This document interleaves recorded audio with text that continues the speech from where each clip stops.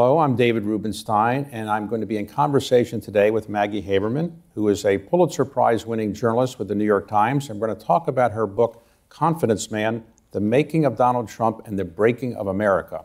And we're coming to you from the Robert H. Smith Auditorium at the New York Historical Society. Maggie, thank you very much for coming today. Thank you for having me. So, uh, when I used to read your articles, and I enjoyed reading your articles in the New York Times, I always wondered uh, how you managed to get interviews with Donald Trump because your articles weren't that favorable to him, I would say. so, how did he? Why did he keep giving you interviews? Uh, he is uniquely obsessed with the New York Times, and I just happen to be the person who covered him more often for the paper. But the the place the paper holds in his psyche as the outer borough guy from Queens who always wanted to be approved of by elites, uh, it's it's hard to overstate. So when Donald Trump first began uh, saying he might run for president, did you roll your eyes and think that no businessman in New York is going to get elected president of the United States? I definitely questioned uh, A, whether he would actually run, and B, whether a businessman from New York could win, especially one with the social positions that he had taken. He had been uh, pro choice for many, many years, uh, pro uh, abortion rights. And so, you know, he also, when I started covering him in earnest, was 2011 from Politico when he was considering running. And we treated it actually pretty seriously because he was rising in the polls and he was striking a chord mostly on this lie about President Obama's birthplace. Um, but then he didn't run. And so in 2015, I was very skeptical. So when you covered Trump and you got to know him better, uh, how influential was his father in creating the personality that we now know as Donald Trump? Um, his father was a domineering real estate person he seems to have intimidated Donald Trump as a youth. Um, what can you tell us about that? There's no question. There, there are two main influences in Donald Trump's life. Um, one is Roy Cohn, and one is his father, Fred Trump. And Fred Trump really was a self made man. I mean, Fred Trump was the, the son of German immigrants. He built up this, you know, local real estate empire, but it was very successful. He was uh, involved in local politics. He worked the Brooklyn political machine. But he was, in the words of Ivana Trump, a brutal father. He was very, very tough on his children. He was very curt. He was very brusque.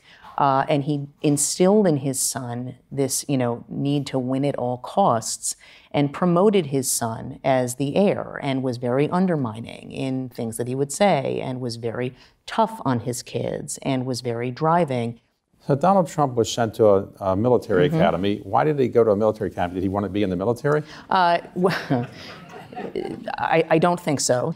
There are various explanations offered for why he got sent to the military academy, but it was the overarching consensus is there were behavioral reasons that his father sent him away for he was a good athlete there, I guess, right? Very good athlete. I mean, and, and, and he really was. I don't I don't think he was, you know, he, didn't perform the way he claims he performed, you know, the best on the baseball team and so forth.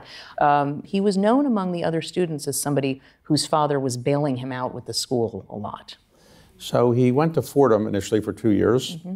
And why did he transfer out of Fordham? He went to the University of Pennsylvania subsequently, right? He went to Wharton, yeah. I mean, his sister Marianne has, has told people in the past of Fordham, that's where he got in. And I think that was the, the honest answer as to why he went there. And I think he did not consider to, Fordham to be up to you know the, the credentialist nature that he and has. how did he do at Wharton? Well, uh, we don't know. It has been impossible to try to get his transcripts um, from his various schoolings. It has been, you know, very difficult to get people to speak with candor about how he actually did. There have been all kinds of stories about him having people take the SATs for him or help study for him.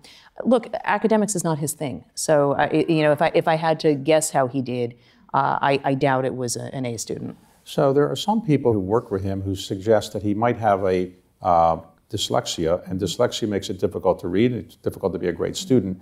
Do you have any reason to think that he is dyslexic in some respects or had dyslexia? With the, with the caveat that I'm not a diagnostician and I'm not a doctor and no one has ever said what he, what, what, whether he is. People who have been around him over many decades, not just in the White House and not just in his campaigns, have commented that other than news stories, he really doesn't read. Um, he doesn't read books. Uh, he certainly didn't read briefing books in the White House.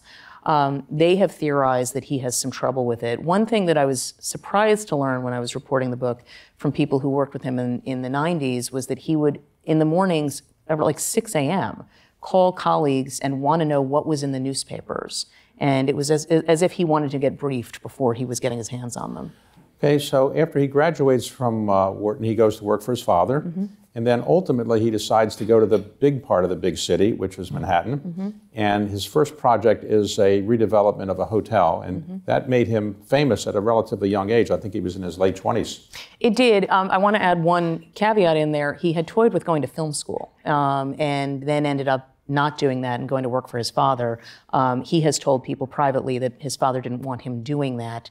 So his first project was this Commodore Hotel, this decrepit hotel on the east side, 42nd Street, uh, remake into the Grand Hyatt. It's not a massive real estate project, but it was coming at a moment when New York City was, was on its heels fiscally, and it helped him seem as if he was sort of this larger than life figure, and he got a ton of press around it.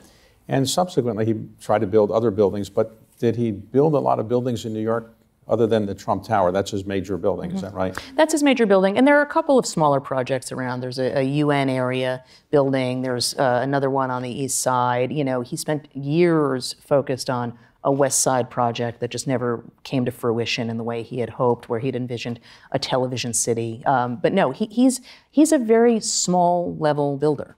So um, a lot of financial problems arose when we went through some recessions in the late 80s and so forth. Did Donald Trump come close to filing for bankruptcy, and how did he avoid it? So Donald Trump, uh, in the 1990s, uh, filed for, for bankruptcy related to his casinos. He didn't file for personal bankruptcy. It was something he was seeking to avoid at all cost, primarily because the banks bailed him out, because they decided, particularly because he was such an employer in Atlantic City, that it was more in their interests to keep him going than to have him go under. Okay, so he gets involved in more public affairs and so forth. And let's go to the campaign. Mm-hmm. So to run for president, you have to be organized, you have to raise money typically. And he said he would be a self funder. Did he really have that much cash to be able to fund and how did he do it? Well, I don't know that he had how much cash he actually had. He put in very little cash, but he, he claimed that he was going to be uh, supporting this endeavor. Instead, it was something that everybody else supported through donations. Um, I believe he got reimbursed uh, on the loan because that's just generally how campaigns work. But that having been said, he was so ingrained in pop culture, he was so known to Republican voters that he was able to do things another candidate just simply wouldn't have been able to. Say he was known to Republican voters. Uh, yes, uh, he became a Republican at some point, but had he not been a Democrat? And a Republican too. I mean, he, he's sw- and an independent. He switched his registration over and over and over, which is, is sort of fitting. Um, he gave primarily to Democrats in New York because there are primarily Democrats in New York. But his personal politics were always much more Nixonian, law and order, sort of 1968 variety. Okay, so in the famous uh, ride down the escalator at Trump Tower, um, did he intend to get as much tension as he did by talking about people coming from Mexico and they're not the best people and so forth? That just happened by happenstance? I think it was pretty organic. I mean, you know, he had a prepared speech that he threw aside when he got down there. And then, you know, he was just off to the races and he saw that he was getting a reaction. But I will say, his advisors had been talking to him about immigration. Immigration, when he was looking at running in 2011, was not something he was really talking about. This was instilled in him by Roger Stone and an aide named Sam Nunberg because that's where the Republican electorate was. Okay, so he starts running, and then he has debates. I think there's 16 other Republican candidates yes. ultimately. So, did he really think that he could stand on the stage with all these more uh, experienced political figures and debate these issues, or did he uh, did he bone up on these issues, or did he just didn't think he needed to to do that? I, he looked at it as some other, you know, media event that he was going through, and he had bluffed his way through so many before that he didn't see a reason to be different. And as it turned out, he really wasn't wrong because the debates are a big part of why he won that primary. So the campaign um, is floundering a bit mm-hmm. and uh, is maybe running out of money. And at some point, he decides to have a reset, and he brings in Steve Bannon and um, others. Uh, who convinced him that he needed a, a, reset, and how did that come about? So he was he was souring on Paul Manafort for a number of reasons. Paul Manafort was the campaign chairman at that point the Paul Manafort basically helped oust Corey Lewandowski, who had been the campaign manager until then. I mean, it was a, a crazy three month period, but it was a couple of donors. It was Trump's own children. Uh, it was the fact that Manafort was getting a lot of bad headlines. Trump did not need a ton of convincing, but Bannon is also a very effective salesman, and he was in Trump's ear at that point too. So you talked about his family members. Um, were his siblings involved in the campaign, or is he close to them? Uh, well, he had been very close to his sister, uh, Marianne. She was the, uh, the the one he was the closest to. They had a, a, falling out because she was on video, on audio tape by their niece, Mary Trump, being very critical of him. His sister Elizabeth, he's not particularly close with. His brother Freddie had passed away. Robert Trump, who he had had a huge falling out with based on business stuff decades earlier, they actually had had a rapprochement, but he was not, as, as far as I know, meaningfully involved in the campaign. What about his children? His children were. I think they were initially aware of the campaign because everything the Trumps do is as a unit, basically. And his his family was like that too, with Fred and Mary Trump, um, his mother. Um, but they are uh, they are just constantly, you know, one front together. And then as time wore on, especially after Iowa, the kids got much more involved. He was heavily reliant on Ivanka Trump in particular. Ivanka Trump was the child who was the most involved, would you say? Um, in the campaign? Her husband was the person who was the most involved, Jared Kushner, who became more and more active in it, who Trump really listened to. He has a very soft voice. It seemed to be very calming to Trump. And as a non family member, he could say things to Trump that the others couldn't. Okay, so he's going to be the nominee of the party. Um, who does he want to pick as vice president, and how did he come to pick Mike Pence? Well, I don't think he wanted to pick anyone as vice president because I don't think he ever really. I don't think he. I don't think he understood that you know the the concept or why he needed one. He joked about Ivanka at one point could be it. He looked at Newt. He looked at Chris Christie. He looked at Mike Pence. Mike Pence was the choice of Paul Manafort and some of his children because he could help with evangelical voters, and he was never going to upstage Trump. If, if it had been Newt Gingrich and Donald Trump, they would have fought the whole time. Now, he had previously had a relationship with Hillary Clinton in the sense that uh, I think she went to his wedding or one of his weddings. She did. She went to his third wedding. Yeah. Okay. And so they were social. They knew each other socially. They knew each other. I wouldn't say that they were they weren't friends, friends, but, they, they, knew, they each, other. each other socially. Mm-hmm. And I think uh, he had played golf with mm-hmm. Bill Clinton from mm-hmm. time to time. So um, why was he so determined to beat Hillary Clinton? Did he, in the end, did he come to just see her as an enemy, or just the, the, the, the, person who would block him from becoming president? No, I mean, he was, uh, he was very angry at the criticism by the campaign of him. And he internalizes all criticism and uses it as a justification for whatever attack he's going to do. That was it. Okay, so he wins the election. Is he shocked that he wins that night? And, yes. and he, he will say he wasn't, but yes, he was. So the next day, um, does he say, like, you know, the stars have fallen and I now have the burden of the world on my shoulders? Is he worried about it or not? No, really? he says, how cool is this? You know, I mean, look at. Look at look at this thing that look at this thing that just happened. Look at what I won. All these people are calling me. You know, the leader of this country is calling me. The leader of that one. The Japanese prime minister calls. Here, talk to Ivanka. You know, it was it was not that literally happened. It was not. Um, it, he wasn't looking at it the way somebody else would. So, what was the cabinet selection process like? Was there a, a pre-election transition effort that had a lot of potential names, or how did they, these names come about? So, some of the names had been in rotation previously, but then they ended up in different jobs. Jeff Sessions would be a good example. A lot of names were being offered to Trump by various people he knew in New York or he knew in Republican Party circles. Mitch McConnell was, you know, making suggestions. Uh, it was not a formal typical process, and Jared was running his own process at the same time. There's a, there seemed to be in the beginning of the administration a lot of leaking, more than normal. White House staffs always leak. Was that a great time for reporters because you got all these leaks coming? We definitely favor more information than less. It was a chaotic time. Jared and Bannon actually went to the White House as allies. They ended up having a split as time went on in the first few months. Um, there were definitely people who were leaking against each other for factional, factionalized reasons there were a lot of people who were brought into that administration as sort of, you know, what one advisor to a, a, mayor I knew used to refer to as government auto mechanics. These were government auto mechanics around Republican circles, and they knew how things functioned, and they were brought in, but they didn't like Trump, and they were very disturbed by what they were seeing. And so a lot of times they were talking to reporters to try to just process what they were learning about. So President Trump had four chiefs of staff. Mm-hmm. Uh, the first was Reince Priebus, who had been the head of the RNC. Mm-hmm. Uh, why did Trump pick him as chief of staff initially? Uh, because uh, Paul Ryan suggested that he would be a good person because he knew Washington, and because some of the other names that were being suggested seemed unwise. Okay, and how did that relationship work?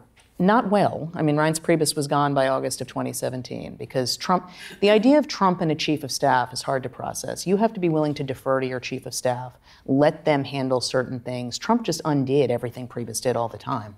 And Jared Kushner did too. So, uh, of the four chiefs of staff, which one was the most effective, or do- which one was he the closest to? He was personally the closest to Mark Meadows, who was not the most effective chief of staff. Mark Meadows presided over the worst period of time in that administration um, and, and has a direct hand in problems with the COVID response and with the post election behavior. John Kelly was the most effective. So, go through a typical day. When, when did Trump get up in the morning? Is he an early riser, a late riser? He's a bad sleeper, so he is often up. You know, you would sometimes see 3 a.m. tweets. You know, but he would be up by 6 a.m. usually, watching morning television. Um, he would claim that he didn't watch Morning Joe or CNN. He would watch both. Um, he would start calling people that early. You know, Paul Ryan had to train him. Can you just wait until I, I'm done with my morning workout until we start talking? Um, they tried having him come down around 9 a.m., but it started sliding back later and later. But did he actually do the tweets himself, or did he have a person that did it for him? There were times that tweets were done by committee, that they were drafted, that aides, you know, aides were often proposing them. Um, but at that time of the morning, it was generally him, or at night, it was him himself. Okay. So, what were his relations like with members of Congress? Did he treat them with respect, or how did he deal along with them? It's a really good question. You know, he was very effective with Republican House members. He was not with Democratic House members because he, you know, everything became split by party with him, and he didn't understand the need to woo the other side of the aisle. But with Republicans, he was very good at using the White House, Air Force One, Marine One as ways to, these were toys to keep them on his side, and he was very good at working the phones. And this is something that he did throughout his, his time at, you know, the Trump Organization in New York, too. He was good at it. So, in foreign policy, he, he uh, dealt with all the heads of state you're supposed to deal with. His trips overseas, were they generally things that are well scheduled, organized? Did he enjoy going overseas to meet heads of state? He did, and, and they were well organized, but they often did not go off well because he would go off script or because he would, you know, get angry at world leaders or he'd tweet something as he was flying into the UK and insult the prime minister. And So, what about uh, Russia? He seemed to have a, uh, almost a man crush on uh, Putin. What, what was the reason for that, would you say? so I don't think we've ever established exactly why he was so praising and fa- often fawning about Vladimir Putin. I can come up with a couple of reasons. He generally likes strongmen. Um, he uh, has autocratic instincts. He, uh, I think, just generally speaking, admires the behavior of Putin uh, and admires the fact that Putin is not constrained by something like a constitution. So, on, under our laws, the President of the United States has no financial constraints. He can have a blind trust, as President Kennedy did, or not have a blind trust. Uh, how did he keep his business operations separate from uh, what he was doing in the government? Did, did his two sons really run the business then? So his two sons, but particularly Eric Trump, were the were the at least the figureheads of the business. Um, I think we're still learning about exactly what Trump was doing in terms of his business in office, and I think we're going to be learning about that from some for some time. At minimum, he tried doing things like use his ambassador to the UK to get a golf tournament at one of his Scotland tournaments. Um, you know, he was not unaware of what was taking place. He would, you know, host events at Mar-a-Lago. Everybody within the Republican Party started hosting events at his clubs. It didn't. It, it maybe some of it happened organically, and I think in some cases it did, but in other cases it didn't. So, President Trump had a number of investigations. Uh, the first one was the Mueller investigation. In the end, um, it didn't produce anything that changed anybody's uh, habits or anything. That right? Was he obsessed with the Mueller investigation? He was beyond obsessed. It it it ate into his presidency. I would say for the first two years. Now it didn't pro- it didn't produce anything that I guess you know quote unquote changed minds, but it did lead to a lot of indictments, the Mueller investigation of a lot of people around him, including Paul Manafort. Um, it was never going to lead to an indictment of a, of a president, whether, regardless of whether the evidence actually led there or not, because of a Justice Department advisory opinion dating back to the Nixon days that you don't indict a sitting president. So, but what it did do was it told a, a, a pretty um, complicated story, and a Senate Intelligence Committee report that looked at the same issues did the same thing. So Trump likes to say this report exonerated me. It, it is, as it often is with him, a lot more complicated than that. So he was the only president we've had who's been impeached twice. The first impeachment dealt with a call that he made to, I guess, the president of saying Ukraine. Ukraine. Was he worried that he would actually be impeached and convicted, or he knew he would never be convicted by the Senate? He believed that he would never be convicted by the Senate because of his relationship with Mitch McConnell at that point and the other senators. So, um, what would you say he would say were his biggest accomplishments as president? Uh, well, what he would say are his biggest accomplishments would relate to expanding the military, which he overstates. Um, he would say that a big accomplishment, and th- this one really was something that, that he did, was moving the embassy from Tel Aviv to Jerusalem uh, in Israel. Um, he would talk about uh, building a border wall, which they only built about 500 miles worth of. Um, you know, th- those would be. Well, in the border The wall, he had a very popular line in the, in the campaign that he was running the first time. I'm going to build a wall, build wall. and I'm going to get the Mexicans to, pay for it, yes. did, where did the idea of the Mexicans paying for it come from? It was all Roger Stone and Sam Nunberg. That whole idea, the border wall in particular, was initially done to get him to remember to talk about immigration, and then it morphed into something different. Okay, so some of the accomplishments I think the Trump supporters would, would cite would be the Abraham Accords. Uh, how did that Mm-hmm. Definitely. come about? Um, that was largely uh, Jared Kushner run, in all seriousness, um, and it, and it, and it was a real accomplishment. Um, you know, it, its effectiveness is debated. Uh, not everyone agrees uh, that that it was as significant as they claim, but it was a big achievement. It did change the region. Um, Trump again was sort of along for the ride on that, as he was with many policy pieces. But that was really Jared Kushner's baby. Okay, so um, let's talk about the reelection. Did he ever have any um, doubt in his mind he wanted to be reelected, or did he just say, "Look, I four years is enough, and I want to go do something else"? I think he was definitely worn out by the job by 2020, but there, he wanted to win re-election. Did he take uh, Joe Biden seriously as an opponent? No, he did not, and and he should have.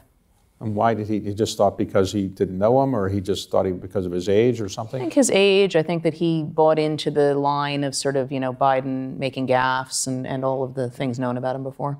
And the debates I've observed over the years um, that incumbent presidents of the United States don't prepare for debates that much because they think I, they know the issues that well. Yeah. Did Donald Trump really prepare very much for that debate, the first debate with with uh, Joe Biden? He did not, um, and, and that was something that uh, his folks had been very upset with him about. You are correct. There's a long tradition of that. There was something else with that first debate, which is that Donald Trump may have had COVID and was on stage very animated and red and sweating. He was much sicker than they ever said publicly, much. We found out later, my colleagues and I, uh, six months later, that he had had um, what was known as COVID pneumonia, infiltrates in his lungs. The public health officials in the administration believed if, that he, if he had not been given monoclonal antibody treatment, that he would have died. I see. And um, did he ever get told that? I think they were pretty clear with him how serious his health was. He knew he knew he was sick. So let's talk about the reelection. So when the election came forward that night, um, and Arizona is declared by Fox for Biden, uh, did that really upset him? And did he ask Jared to do something about it? It was a seismic moment uh, when Fox News called Arizona for Biden. Trump said, "Get that fixed." Uh, Kushner called Murdoch. Um, there were there was it was it caused all kinds of chaos within Fox News, but Fox stuck to it, and then the AP did it a few hours later. Okay, so when he wakes up, um, people say Biden is going to be president. Does he immediately think that the election is stolen from him? Who convinces him the election is stolen?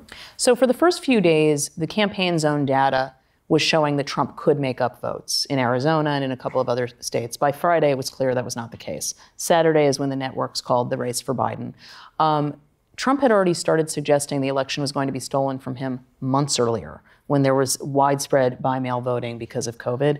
So I don't think Trump needed convincing. I think this is something Trump's been saying for years. Was there any uh, plan by Donald Trump to actually not leave the Oval Office, as has been suggested? he had started saying to people within two weeks of the election, I'm, I'm just not going to leave. Now, I don't think it was a plan, it, it, but it was in his mind, uh, you know, I'm not leaving, we're never leaving, why would you leave when, when you won an election?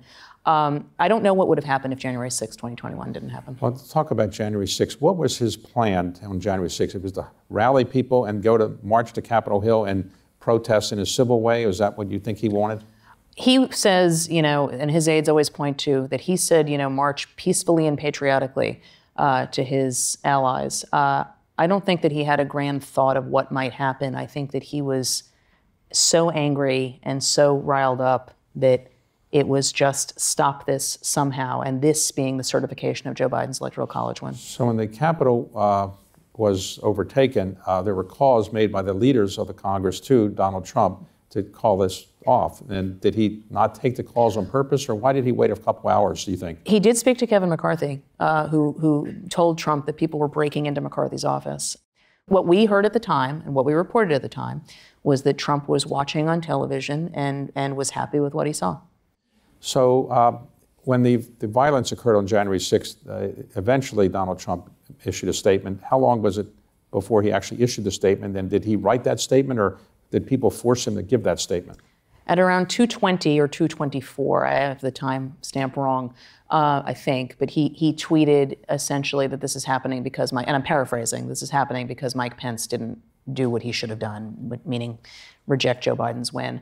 Um, that was his first statement. Then eventually, aides spent time begging him to say something. He finally issued another statement saying, you know, be peaceful. It was an emerging process. So, uh, since he did leave the office, has he ever talked to Joe Biden? No, no. He did leave Joe Biden a letter, you know, a traditional letter. And what Biden said to people uh, who work with him after he got it, it was, you know, in Trump's scrawl, familiar scrawl. Um, he said it was more, he was more gracious than he'd expected he would be. Well, thank you for coming here today and giving us uh, insights into Donald Trump, our uh, president, at one point. So thank you very much. Thank you. Thank you.